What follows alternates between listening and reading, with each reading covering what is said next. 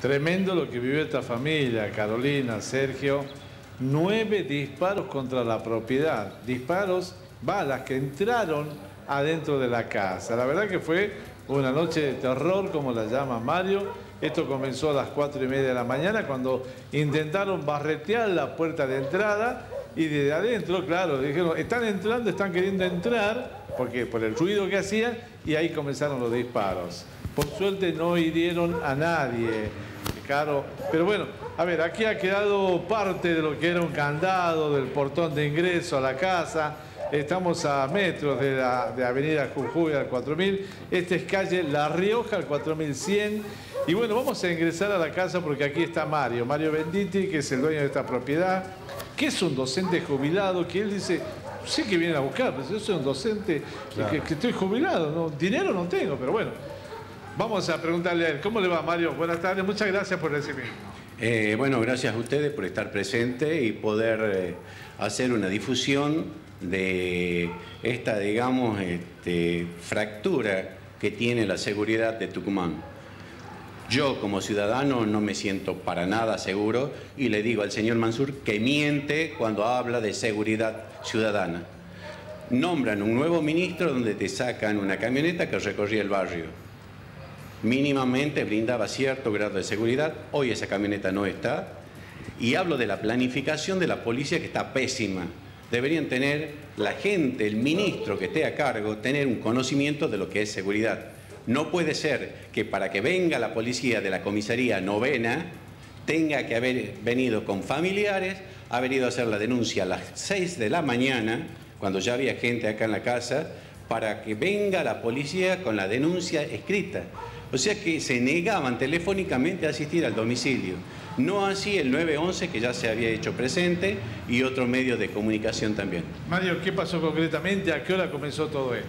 A las cuatro y media de la mañana eh, se va a forzar, se corta, digamos, la cadena del portón de arriba que estaba con un candado, un cable de acero que son esos que se usan para motos que estaba en la parte media y el candado de abajo que es eh, donde la barra entra, digamos, eh, sobre el piso.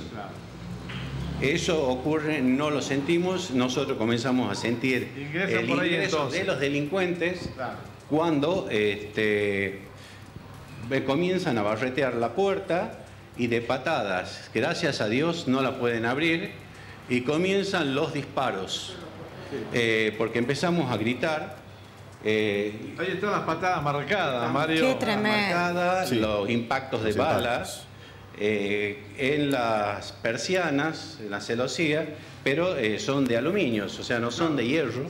Por lo tanto, hay este, impactos de balas que pasaron hacia adentro, tanto acá como en, en la otra ventana. Y los impactos de bala que si pueden apreciar en la parte inferior, digamos, donde están los zócalos negros de, los cerámicos. ¿Cuántos impactos de bala, Mario? Creo que recuerdo aproximadamente nueve, así contando la, cuando hace la pericia criminalística, algo alrededor de nueve impactos se cuenta. Nueve impactos de bala, me imagino el, terror que han pasado. Y eso es lo que le provoca dar a la fuga cuando uno ya comienza a gritar y a pedir ayuda este, y dejan tiradas las herramientas en el camino los, los delincuentes que se movilizan en una escor blanca. ¿Mm? O sea, yo no sé si es que han marcado mal la casa, no tengo problemas con ninguna de las personas conocidas, este, no tengo deudas, no hago deudas así como para que sea un apriete. Es un escrache que han hecho y creo que está mal eh, marcada la casa. La pesadilla comenzó, como ven acá la reja esta, el día sábado a la madrugada, cuando me revientan esta reja. Yo pensaba que era algo pasajero, pero veo que la pesadilla continúa. Ah, Carlos, te cuento, porque el sábado pasado, a la madrugada, como acaba de decir Mario, intentaron ingresar también a esta propiedad, reventaron la reja que está al costado, pero como justo llegaba un taxi con algunas chicas que venían, vecinas de él, eh, los ladrones, los delincuentes se dieron a la fuga en el mismo vehículo, una Ford Escort blanca, me decía Mario. Una Ford Escort blanca, que eh, ese, día no, no se van en la Escort, la Escort sale claro, uno no sabía disimuladamente y da la vuelta para acá porque los delincuentes corren a pie en dirección Jujuy, zona este. Pero se lo ve el vehículo, al mismo se vehículo. lo ve al mismo vehículo en la, en la zona. Tremendo. Así que tienen un dato preciso la policía para poder este, atrapar a estos delincuentes que andan delinquiendo en toda la zona sur. Ahora, Mario, cuando usted me dice que es un docente jubilado, bueno, que no tiene dinero en su casa, que no tiene deuda, que no tiene problema, Claro. eh, eh, no se entiende, ¿no? No se entiende, no tengo ahorros acá tampoco, porque con una jubilación no se puede ahorrar muy mucho. Eh, no sé cuál es el motivo que, que creen que me van a encontrar. Hay lo típico de una casa, televisor, lavarropa, cocina, plancha, no sé. Ah. Eh, por eso es lo que necesito. Ahora le exijo y cualquier cosa que me pase lo hago responsable al señor Mansur y al, a Jaldo y al ministro de Seguridad, porque no están brindando ninguna de las tres cosas que prometieron en campaña y que como uno ciudadano vota lo que parece mejor, más allá de la ideología política que tenga. Carolina, te está escuchando Sí. Mario, Sergio también te está escuchando Sí. si quieren hacer alguna consulta. Mario, Carolina y Sergio, estamos aquí en el estudio. Después de escuchar este ¿Qué tal, relato, Carolina, Sergio? ¿Cómo están? ¿cómo sigue su vida y la de su familia después de haber ya vivido dos hechos de estas características? Eso es lo que digo yo. ¿Cómo sigue esto? Eh, porque hay una inseguridad y en nuestro sistema nervioso, como seres humanos, como personas, que no estamos acostumbrados a vivir en la violencia, de pronto tenés que vivir esta situación que es aberrante por la falta de control, no sé si de la policía, de las malas políticas de seguridad que se implementan. Malas, repito, malas políticas de seguridad.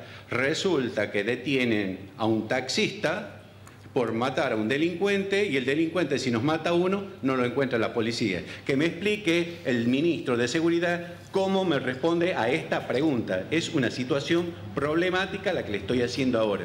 Quiero escuchar su respuesta. ¿Es Mario. verdad? ¿Estoy molesto? Sí. Sí. Muy molesto. Eh, la verdad que el relato es tremendo, ver la fachada de su casa, con los impactos, con los disparos, pero lo que ha quedado resonando, por lo menos en mi cabeza, es que los disparos ingresaron a la vivienda. Es decir, que usted hoy tiene que prácticamente agradecer estar vivo y que nadie de su familia esté herido, porque esto podría haber terminado en una verdadera tragedia. Eh, totalmente, mira, como misionero de la Inmaculada Concepción, amane- eh, agradezco a la Virgen de Lourdes y al Espíritu Santo y a todo y a Dios que nos ha protegido, porque tendrían para habernos matado a Luis y a mí que vivimos acá en la casa. Te va. Bueno, Porque, como ves, sí. eh, las persianas de las ventanas Sí, son de sí, sí. aluminio. Claro. Gracias por este relato, es totalmente comprensible el, el estado de conmoción en el que se encuentra. bronca, más de bronca, vale. indignación y de, de temor a la vez también, ¿no? de bronca, de impotencia, y que creo que no soy el único, Claro. que toda la sociedad, es más, vamos a ver, voy a ver la posibilidad de convocar a una marcha en contra de la seguridad, en contra de la inseguridad que tenemos acá en la provincia de Tucumán, porque estamos hartos de mentiras y de falsos relatos del discurso político, que lo único que hacen es querer conseguir votos. Mario, muchas gracias por, Gracias por- recibirnos en su casa. Por favor. A pesar del momento que las chicos. Muchas Sí. gracias. Gracias, Luis, hasta luego. ustedes.